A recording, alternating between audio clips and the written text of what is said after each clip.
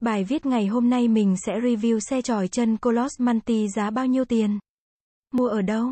Có tốt không? Xem hết video này để rõ hơn nhé. Đừng quên bấm like, share hoặc comment nếu bạn thấy video này hữu ích, đặc điểm nổi bật. Sản phẩm giúp bé tập đi thăng bằng với xe, đồng thời là món đồ chơi hấp dẫn cho bé. Khung xe bằng thép không gì bền chắc. Bánh xe vành nhựa đúc lốp xe đặc mềm, chống bị đâm thùng bám đường, chống trơn trượt và chống sóc nảy, yên xe rộng, bọc nệm mềm nhằm tránh gây ê hay đau mông khi ngồi lâu. Tay lái nằm ngang tương thích với chiều cao yên giúp trẻ dễ dàng điều khiển hướng đi của xe.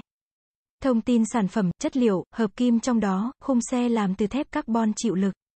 Bánh xe cao su non bền, đẹp, trọng lượng 1,8 kg, tải trọng 20 kg, bạn nên đặt mua sản phẩm trực tiếp từ website nhà sản xuất.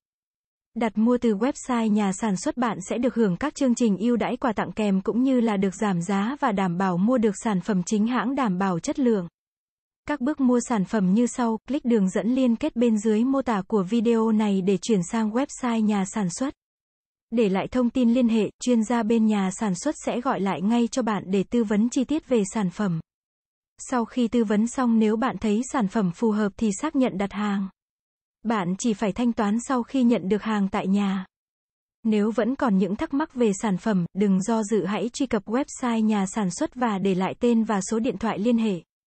Nhân viên tư vấn sẽ trao đổi giúp bạn giải đáp mọi thắc mắc về sản phẩm. Lưu ý, hiện nay trên thị trường có rất nhiều sản phẩm làm giả kém chất lượng. Không đạt được hiệu quả thực sự như hàng chính hãng, để có thể mua được sản phẩm chính hãng. Tránh những sản phẩm giả mạo trôi nổi trên thị trường, mình khuyên các bạn hãy đặt mua qua website chính thức để có thể yên tâm nhất về chất lượng sản phẩm cũng như giá cả đã được niêm yết.